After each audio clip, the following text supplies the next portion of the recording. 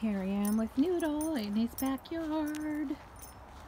Noodle has a pretty backyard. Let's do a little pano for ya. He has a little fountain there. It's not on right now, but little um, bird baths here and there. We had a lot of stormy weather this last few weeks, and so um, lots of pine cones down.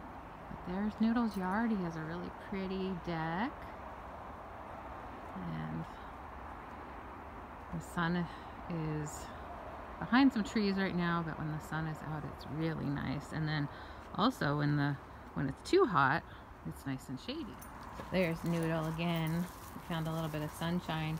He just got a haircut. He looks handsome. Don't you Noodle? Noodle can you show people your pretty face? Noodle.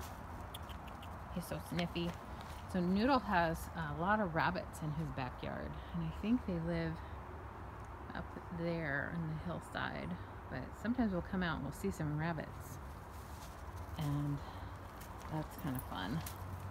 Of course they freeze because they don't want Noodle to see them.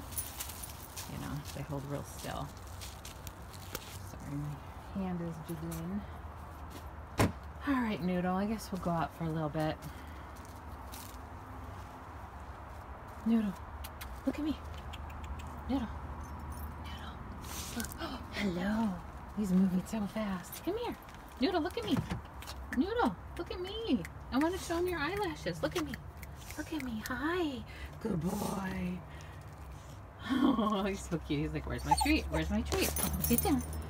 All right, I gotta walk Noodle. I'll see y'all later.